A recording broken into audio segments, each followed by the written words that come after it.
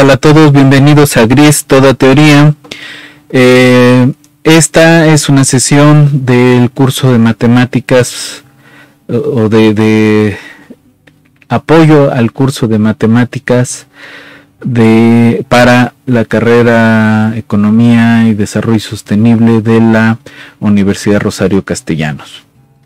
Eh, entonces, la vez pasada hablamos un poco sobre funciones eh, y lo que queremos, hacia lo que estamos apuntando es a tratar de jugar con límites. Para eso vamos a este, empezar a hablar sobre eh,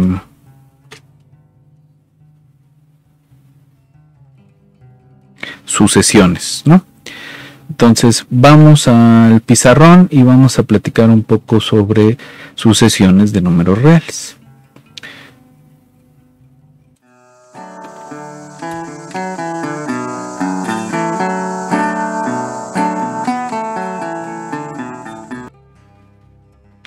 Ok, entonces, em, ¿qué cosa es una sucesión? Ah. Entonces ya hablamos de funciones, una sucesión va a ser una función. Entonces una sucesión, vamos a ponerle esta notación, Sn, eh, o digámosle S de n es una función que toma valores en los números naturales, en el 1, 2, 0, 1, 2, 3, 4, 5, etc. Y nos va a arrojar un número real. Eh, ¿Qué número va a ser? Pues no, nos importa mucho, pero eh, hay entonces distintos tipos de eh, sucesiones. Una observación acá, este, como nuestro, nuestra imagen vive o es parte del conjunto de los números reales, no obtenemos aquí inyectividad necesariamente, no tenemos biyectividad desde luego porque este hay más números reales que números naturales, eso este eh, es, un hecho que se prueba eh, con algunas eh, propiedades sencillas de los números reales. pero a nosotros lo único que nos interesa es este, que, esos últimos dos cuestiones que hablamos la vez pasada, pues no se aplican para sucesiones, ¿no? Lo que sí vamos a tener es este, cuestiones de orden. Entonces vamos a, y, ahorita vemos qué es lo que nos va a interesar de las sucesiones en realidad. Eh, vamos a hablar, por ejemplo, de sucesiones monótonas. Eh, entonces vamos a decir que una sucesión es monótona si S de un número natural n. Es más chiquita o más grande, eh, digamos monótona creciente, si ese n es más chiquito que el s n más 1. Vamos a decir que es este monótona decreciente.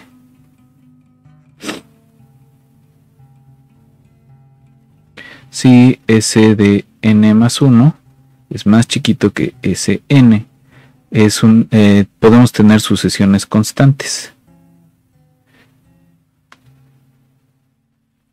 Eh, digamos ese eh, la podemos representar como eh, un conjunto de valores, ¿no? Entonces puede ser eh, en el lugar 0 tienes el 1, luego tienes otra vez el 1, el 1, y cuántos valores vamos a tener, pues deben ser una cantidad infinita, pero numerable, se le dice, porque debe corresponder con los números naturales, ¿no?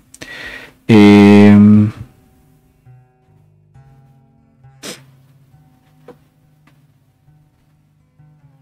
ahora, ¿qué otro Entonces, ejemplo de monótona creciente puede ser la sucesión que podemos describir como con la regla general, digamos, este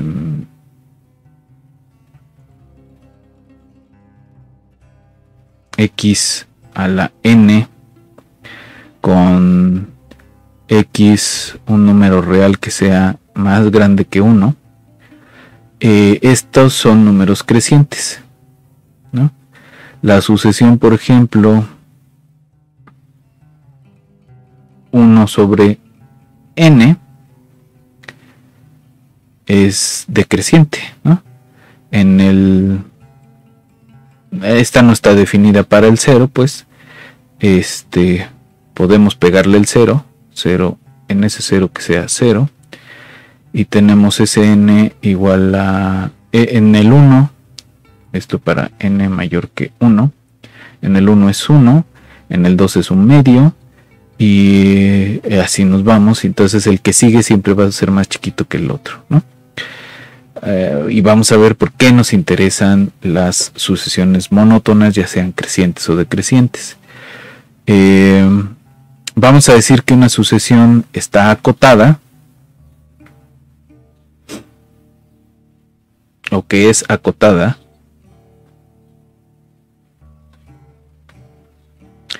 Si existe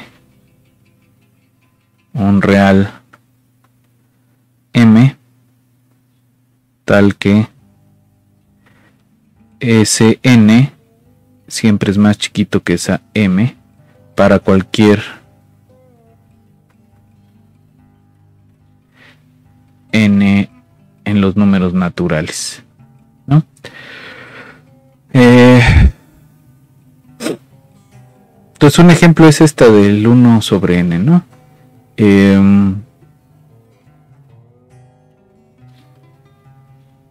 Entonces 1 sobre n no solo es eh, decreciente, ¿no? O sea, 1 sobre n de n siempre es más chiquito que el 1 sobre el n más 1 para cualquier número natural n, sino que además existe un número m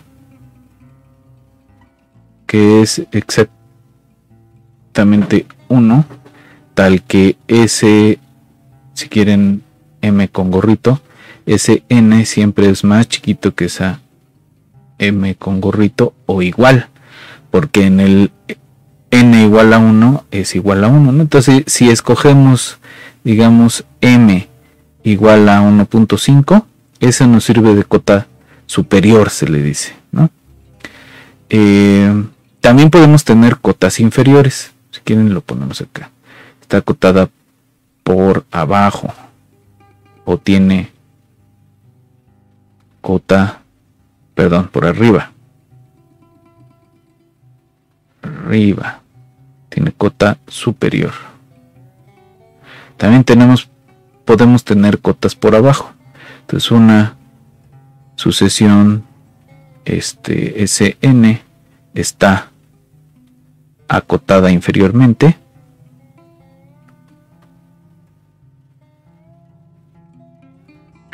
si existe M, si quieren le ponemos minúscula, ah, M con gorro, este tal que ese N siempre va por encima de esa M con gorro. Otra vez con la 1 entre N podemos tener elementos muy muy pequeños. Para n muy muy grandes, pero 0 nunca van a alcanzar a ser 0, ¿no? 1 sobre algo siempre es distinto de 0 y siempre es mayor que 0, ¿no? Para toda n natural. Este, y esta es nuestra m con gorrito, que es nuestra cota inferior. Ok.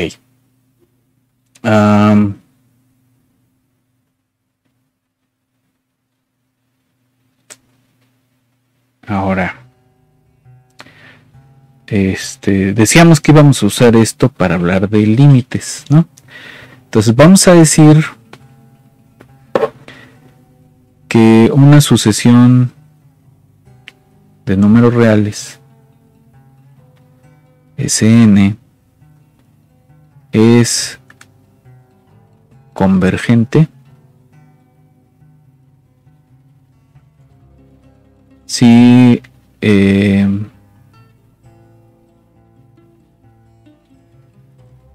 existe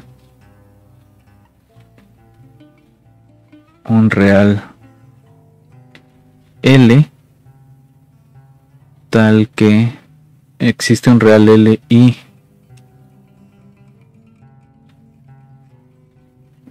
N natural tal que para cual para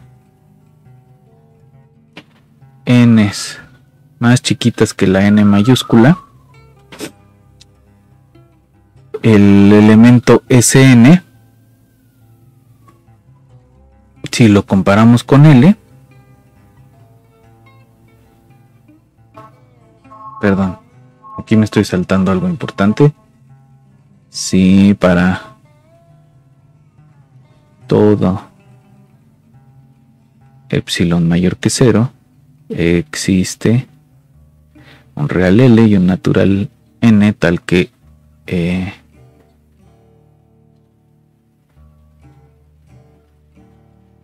esto es más chiquito que epsilon, ¿no?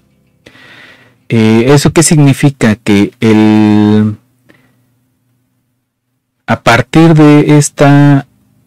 Perdón, para las n más grandes que n. ¿no? A partir de esta n, todas las que siguen se van a aproximar lo más que se quiera a una... Este a un real, ¿no? Entonces, eh, pensemos un poquito en el, este, otra vez, en el Sn igual a 1 sobre n, ¿no?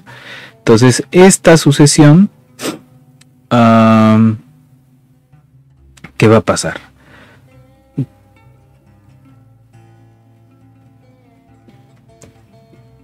Eh, pues podemos dar una epsilon cualquiera, ¿no? Digamos epsilon igual a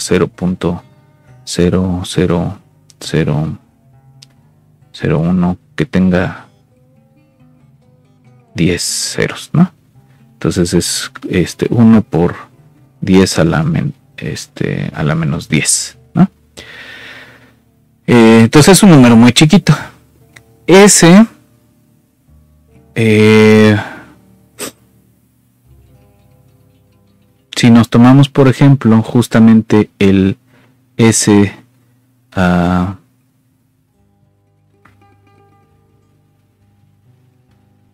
el término ajá, 10 a la 10, este, pues es 1 sobre 10 a la 10, que es lo mismo que 10 a la menos 10, ¿no? Eh, perdón, 1 por 10 a la menos 10. Eh, entonces este, para ese epsilon chiquito pero positivo, eh, este es el término que corresponde. Esta es la n buena. Entonces si nos tomamos cualquier cosa más grande, digamos, este n más grande que 10 eh, a la 10, digamos 10 a la 10 más 1, lo que vamos a tener es que Sn menos 0 en valor absoluto es más chiquito que epsilon,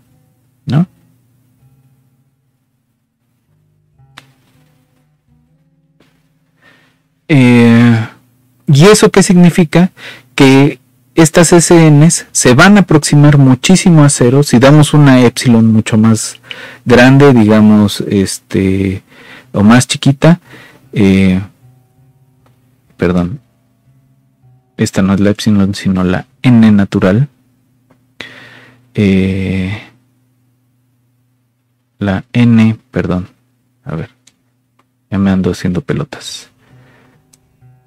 Epsilon es 1 por 10 a la menos 10 y n pues es 10 a la 10.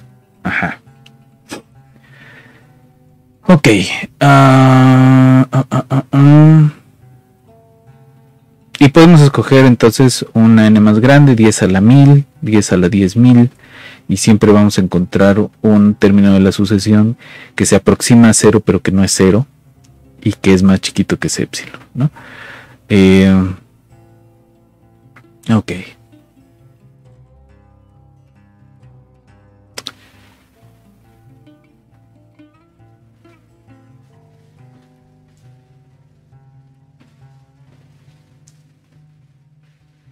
Ahora, a ver, vamos a suponer otra que sea 1 eh,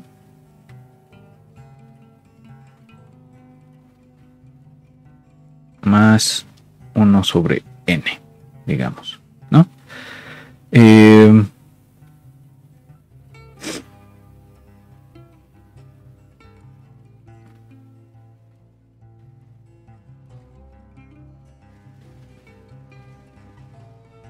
Igual tomemos epsilon igual a 10 a la menos 10, ¿no? 1 por 10 a la menos 10.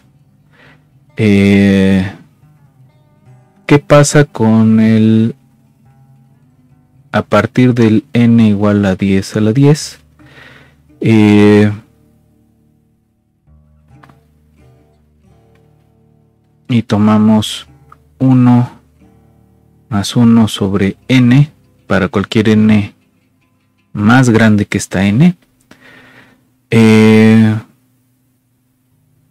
y consideramos el valor absoluto de esto respecto a 1. Esto n es más grande que este 10 a la 10. Entonces 1 sobre n es más chiquito que 1 sobre 10 a la 10, que es nuestra epsilon. ¿No? Ahora, ¿esto quién es? Esto de aquí es los 1 se van a ir a ver al mago y me queda el valor absoluto de 1 sobre n, que como es una cosa positiva, pues siempre eh, corresponde con su valor. Esto que damos acá arriba es más chiquito que epsilon.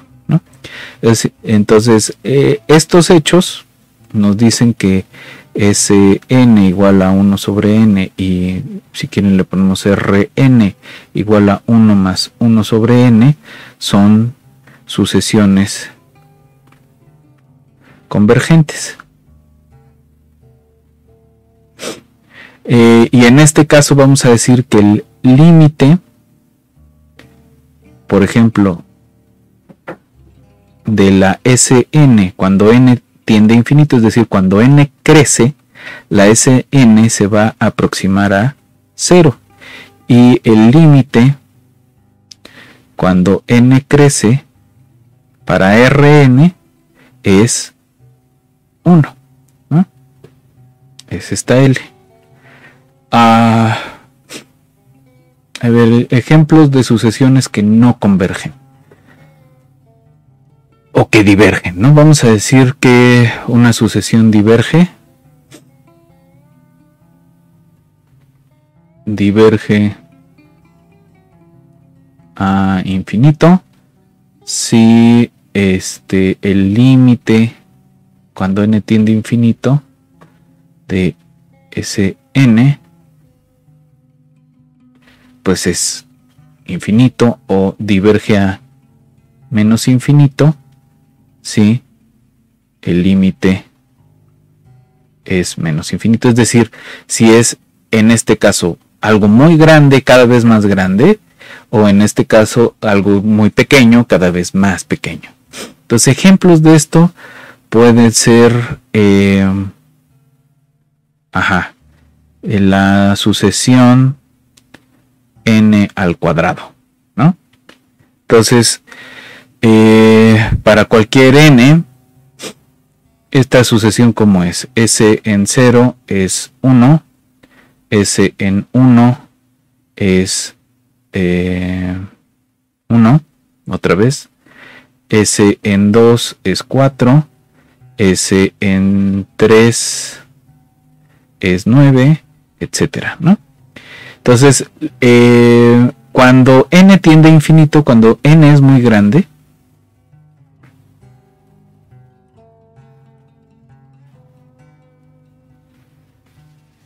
esto crece mucho, ¿no?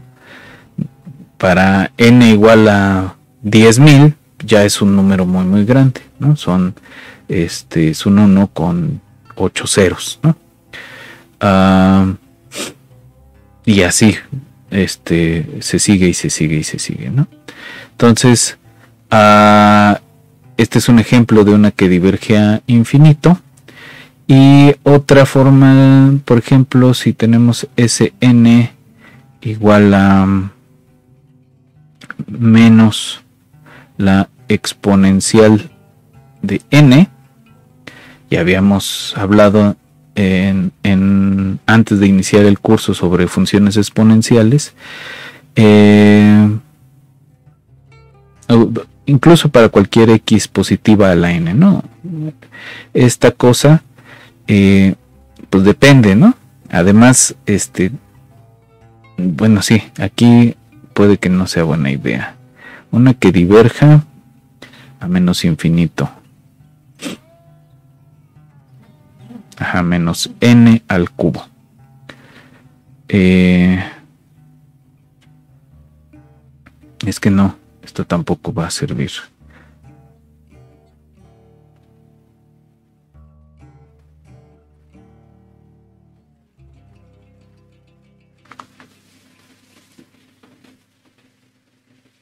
Mm, pues simplemente la de menos n, ¿no? Entonces vamos a tener en el 0 va a ser 0, menos 1, menos 2, así, ¿no? Y cuando tiende a infinito, la n, pues la Sn es algo muy pequeño, ¿no? Tiende a menos infinito, más fácil. Ahora, pueden no converger de otra forma. Por ejemplo, eh, si tenemos, podemos definir Sn como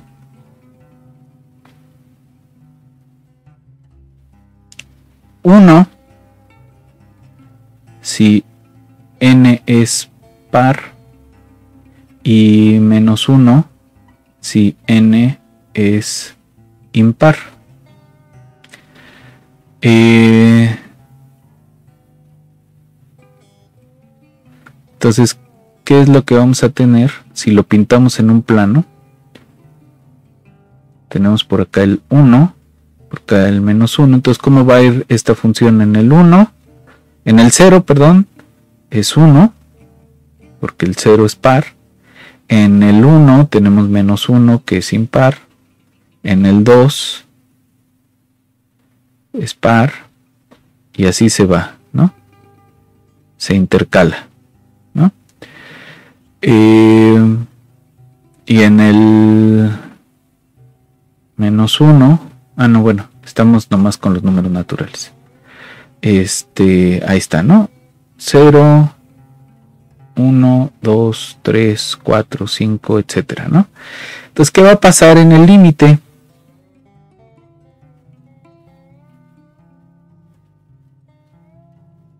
pues no sabemos, ¿no? Si este, este número muy grande con el que nos vamos a aproximar es par, pues le pega al 1 y si no le pega al menos 1. Pero como está todo el tiempo oscilando, este límite no existe, no hay una forma de definir la L que nos sirve como límite, ¿no? Entonces, este, no necesariamente el límite va a existir, a veces la sucesión va a ser eh, divergente a algo muy grande o algo muy pequeño, este, pero también puede ni siquiera existir ese límite. Ahora, eh, Ajá. Nada más para terminar, quiero dejar un concepto que es la convergencia según Cauchy. Cauchy fue un muy famoso este, y prolífico matemático francés, este, bastante reaccionario por lo demás. Eh, pero bueno, eh, mucho, muchos de los resultados que vamos a ver en cálculo se deben en parte al trabajo de Cauchy, de Agustín Cauchy. Eh,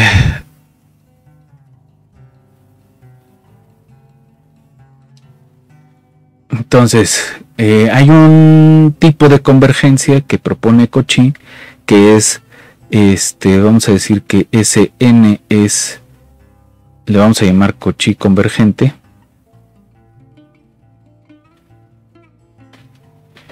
si eh, para cualquier epsilon mayor que cero existe n natural tal que para toda los n's y m's posteriores a esa n, los términos enésimo y emésimo de la sucesión están cada vez más cercanos. Entonces, eh, ¿esto por qué? Porque podríamos tener este términos en la sucesión que no son este que no son, que podrían estar saltando entre dos valores, ¿no? Pero eventualmente podrían estar cada vez más cercanos. O imagínense eh, que tenemos un, ¿no? Tenemos nuestros, eh, tenemos una serie de valores positivos. En el 0, supongamos que le pega un valor por acá. Y en el 1, 2, 3, 4, 5, 6, etcétera. En el 1 le pega por acá. Eh, y en el 2 le pega abajo, pero un poquito más arriba. En el 3 le pega arriba, pero más abajo. Entonces hay un valor limítrofe que a lo mejor no alcanzamos a ver nada más este, estudiando los términos de la sucesión eh, pegándole algo grande, ¿no? Y a lo mejor están convergiendo como de esta forma, ¿no? Por arriba y por abajo, oscilando, pero se aproximan a un valor. Y entonces, ¿qué es lo que sí podemos ver? Que los términos, este, sucesivos de esta sucesión eh, están corresponden a valores que cada vez son más cercanos, ¿no? Estos son bastante alejados, pero estos de aquí cada vez son más y más cercanos, ¿no? Entonces, eh, bueno, vamos a pararle aquí. Y en la siguiente sesión vamos a hablar un poquito más generalmente de convergencia de sucesiones. Vamos a hablar de la sucesión geométrica, de la este, sucesión aritmética y vamos a hablar sobre la sucesión de Fibonacci. Pero por el momento dejémosle aquí y nos vemos en una siguiente sesión.